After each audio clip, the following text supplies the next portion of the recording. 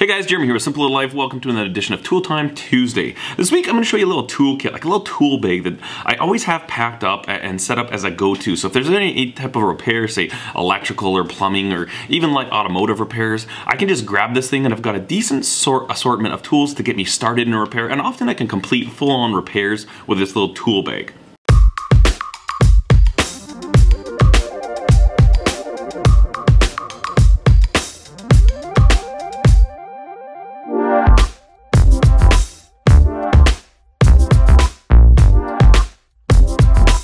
Let's get to some viewer knives.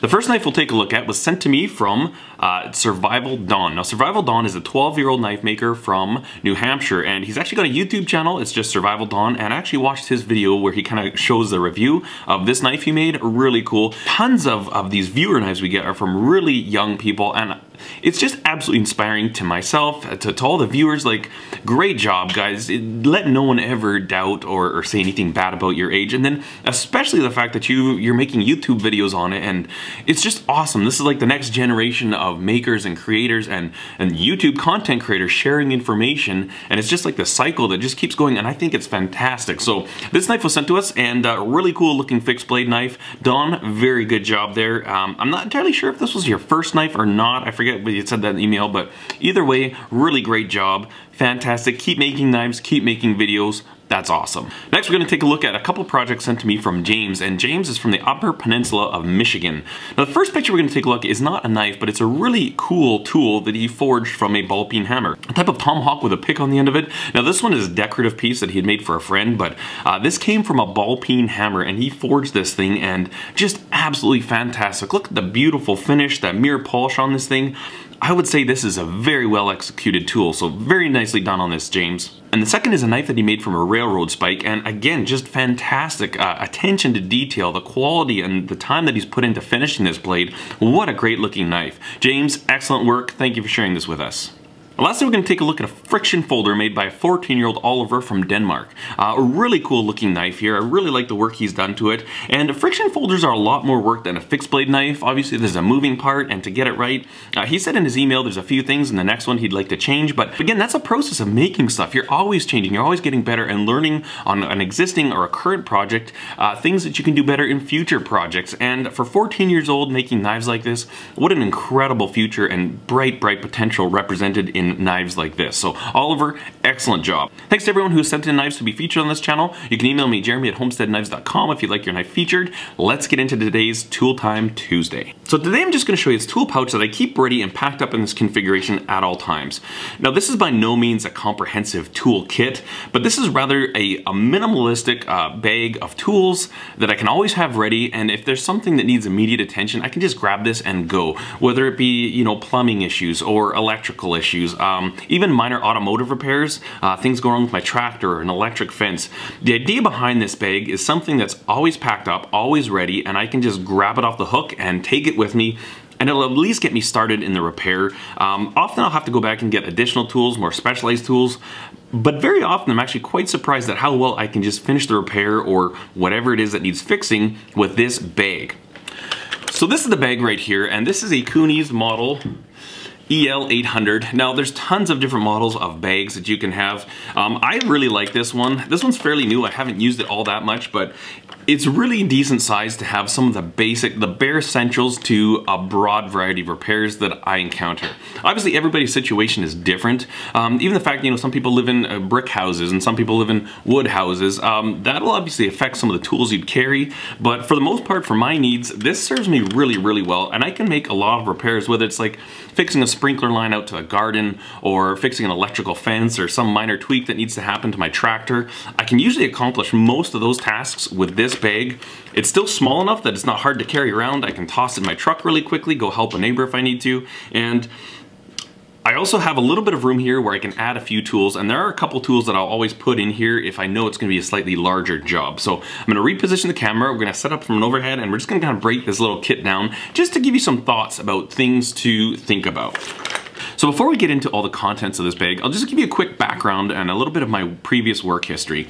Now, by trade, I'm a journeyman millwright, and what that is, is a, it's basically a heavy duty mechanic that works on stationary equipment.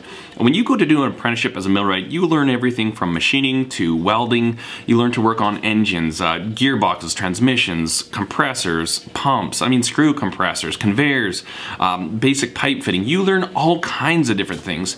And typically when you're doing an apprenticeship, the company that you work for will be very specialized part of the broader millwright field. So the company that I did my apprenticeship with and that I worked for for years, uh, we manufactured and installed airport baggage conveyors. I did work all over the United States. I spent years down in Southern California, quite a bit of time in Texas, Colorado, Montana, New Mexico, um, you name it, Michigan. I mean, I've worked all over the place. And a lot of times we'd go in and do the installation and then we're gone, but quite often we'd get these maintenance contracts as well. And uh, for example, when we did the Burbank installation, I was actually the maintenance guy for a few months while we hired a local person to take over. But basically every once a week I would fly down to Burbank and I'd do my walkthroughs, my preventative maintenance checks, and then I'd be there for a day or so and then I'd fly back. And that happened every single week. Also, when we'd finished the big new terminal at the Edmonton International Airport, um, I was a maintenance guy and I'd go up there once a week. I'd do all my PM checks, again, check for like temperatures, voltages, um, you know, you know, all the fluid levels in the gearboxes, belt tracking and stuff like that, and then I'd come back.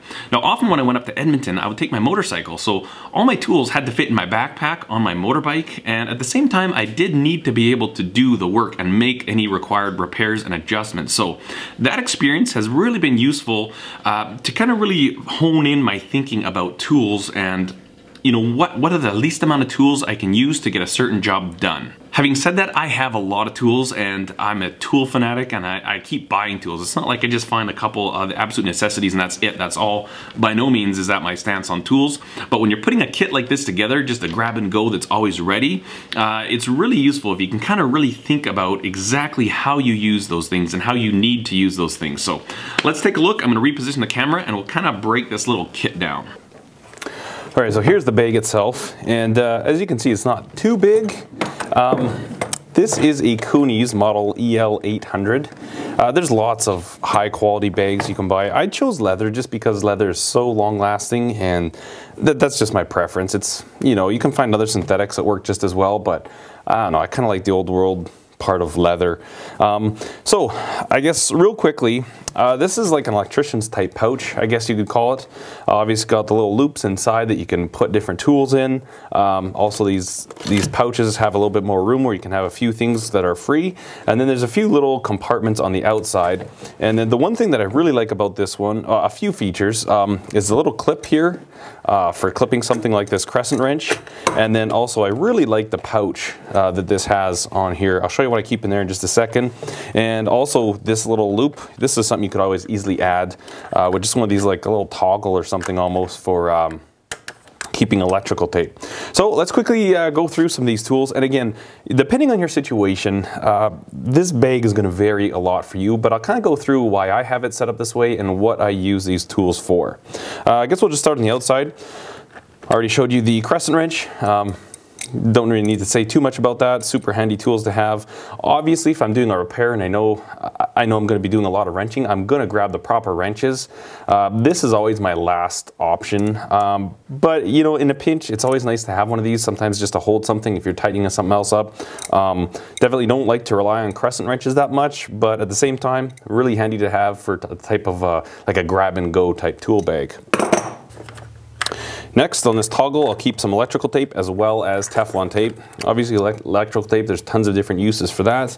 And then Teflon tape, just because a lot of the stuff I'll do has, uh, has to do with repairs out in the garden with our sprinklers and stuff like that. So always nice to have this. Sometimes you just got to tweak something or, or replace something. Nice to have this ready all the time and part of my tool bag. This loop here, I'll keep a small ball peen hammer. What is this, a 16 ounce? Uh, big enough you can use it to adjust things, but small enough if you have somewhat delicate work, you can do it with this as well. The head's a little loose on this one. I should probably look at fixing that.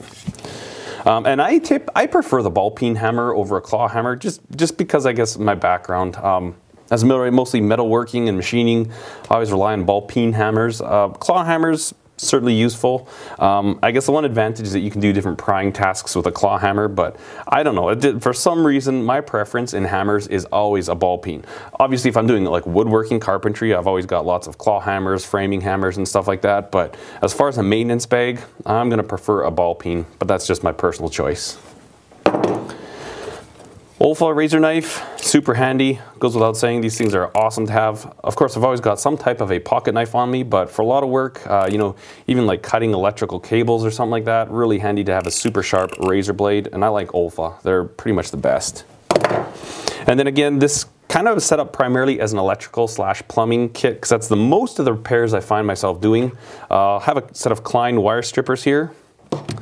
And then I've got just a pair of regular pliers. Anytime you need to grab something, get in there, yank something, adjust something, twist something, handy to have. And then decent side cutters. Now I've gone with a larger set. These are fuller. I have a set of Kleins that are like this too. But sometimes I'm fixing stuff like with barbed wire and stuff like that. So it's nice to have a little bit more of a robust set. And again, for finer electrical tweaks and stuff, I can use these as well. And then in this far pouch thing here, uh, I've got just a little light. Uh, this one's magnetic. You can stick it, it's magnetic on the bottom or the top. These are really common. These are not very fancy, very inexpensive. I think this was like three bucks or something.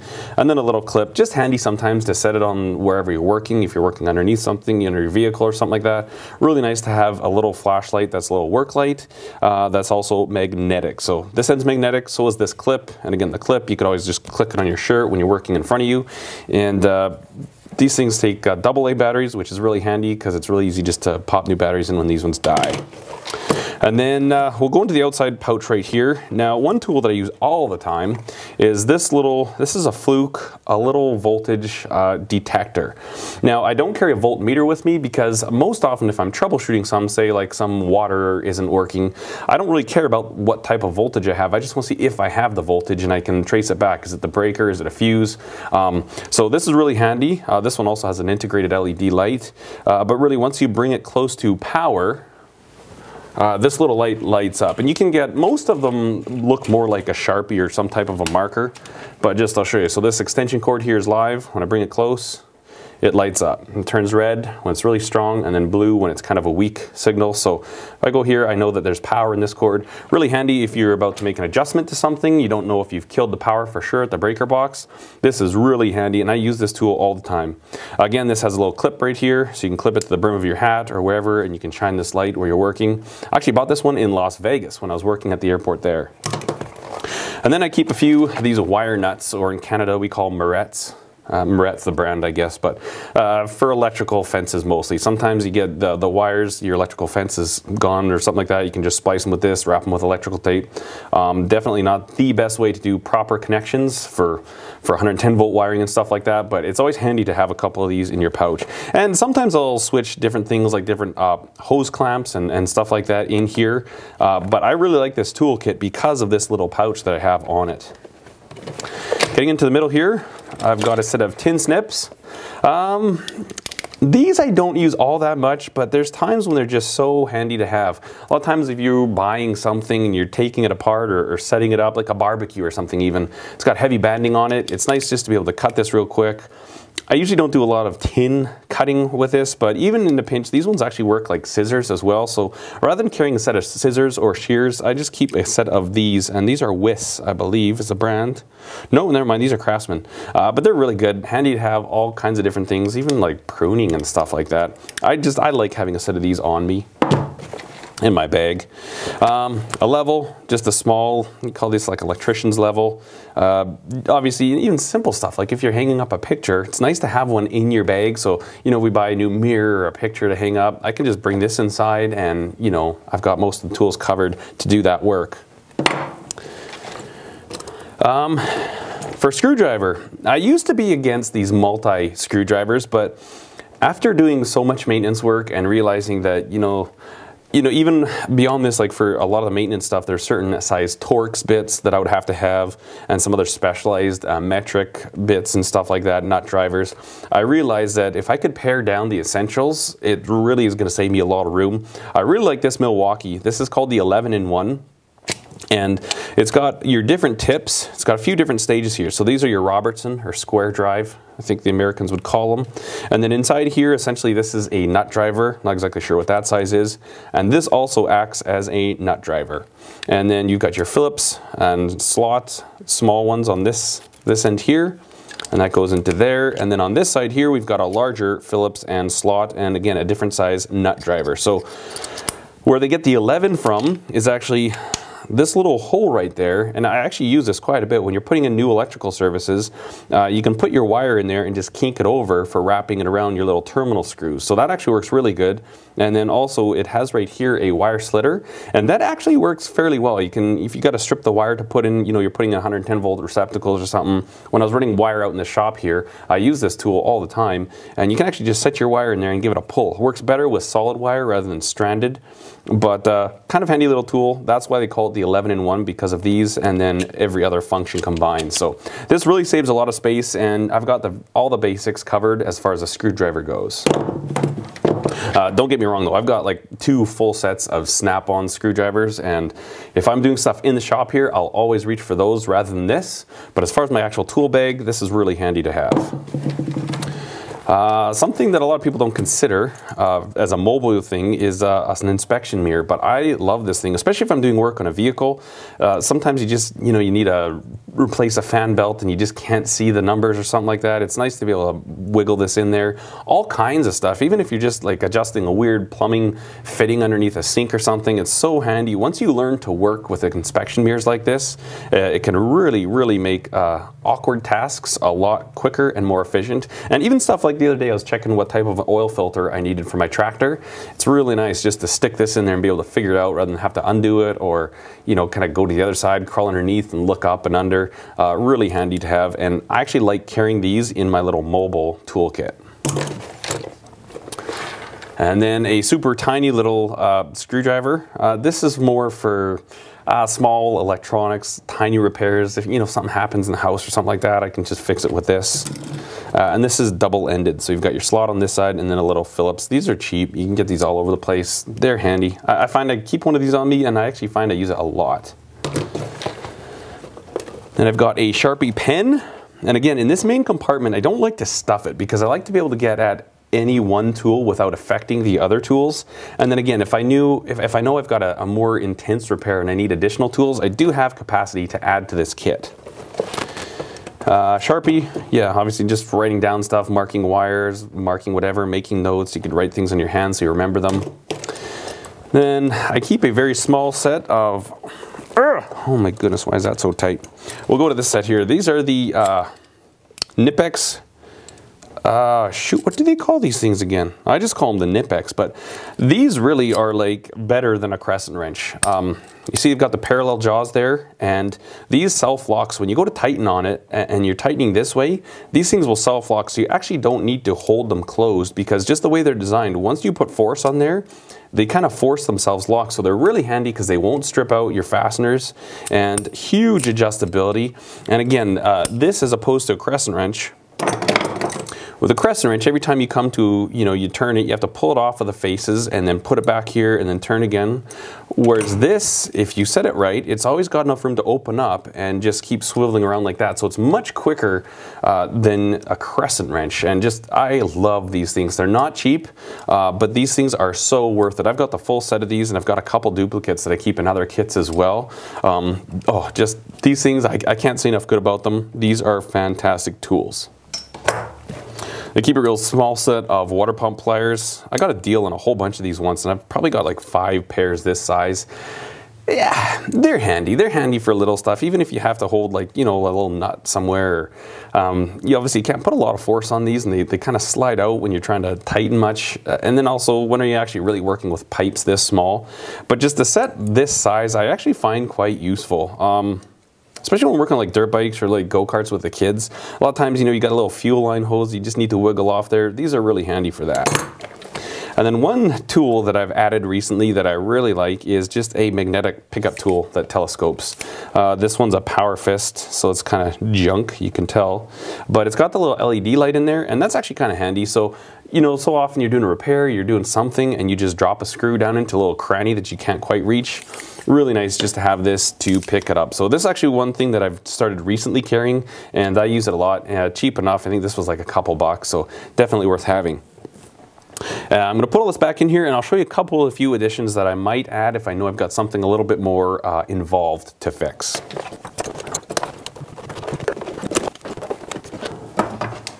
Now the only other thing that I'll typically carry with me that I don't leave in here uh, is a larger set of these Knipex and a larger set of water pump pliers. If I know I've got like a large fitting out on a water or a sprinkler system that I need to adjust, I'll often uh, throw these in there just because they allow you to do much larger work. Even stuff like taking, like literally taking a ball hitch off of my tractor and putting a different size, I can actually do that work with this tool. So much smaller than carrying a crescent wrench of the same capacity. And like I say, with that ratcheting type action where you can just, you know, open it up and go to the the next grab. And these things are so awesome. So a lot of times if I know I'm doing something big, like putting in a new water line or something like that, I will take these with me. And uh, usually I'll actually just stuff these right in here with my hammer. Just like that. So that is my basic go-to toolkit that I like to keep ready just for whatever comes up. You know, if I know I'm doing a major work like an overhaul, like I'm fixing a lawnmower or something like that, obviously I'll kind of get a bit better set up. But this is just for those times when it's like, oh crap, something's leaking, there's, there's a hose leaking or the electrical fence isn't working or whatever. And it's just like, you know what, I need to grab there. If you just need to do a quick adjustment, uh, something on your vehicle, um, it's nice to have a kit of dedicated tools and all these tools are entirely redundant to my tool toolbox. So nothing in this kit shortens uh, the availability of my tools that I have for in my shop and other work. And I think that's really important because, you know, if you leave this, say you go help a friend and you leave this in their house or, or you leave this in your vehicle or in the basement or something like that, it's nice not to have to be like, oh shoot, I need that. I gotta go get it now. So you know, I remember when I was young, seeing these guys with all these tools and I it's kind of disheartening because as a young person you're just starting to build your tool collection. But my advice to young people is that keep building it keep buying tools uh, keep looking for sales for deals. Obviously once you've got a basic kit uh, you know think about some of these tools and would it be handy to have a second one of these just to leave in your vehicle? And then you can can wait for a really good deal. You can wait for like garage sales estate sales or when they go on super clearance prices like that. And I'm at the point now in my life where I've got actually this entire bag, this entire bag is tools that I don't use.